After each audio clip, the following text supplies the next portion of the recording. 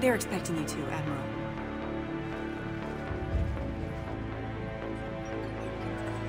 Good luck in there, Shepard.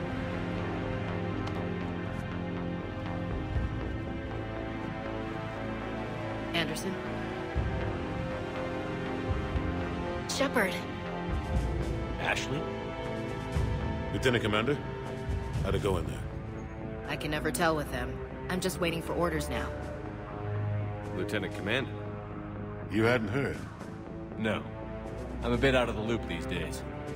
Sorry, sir. Didn't mean to keep you out of the loop. I'm sure you had your reasons. Yeah, I guess I did. Still, good to see you. Admiral, Come on.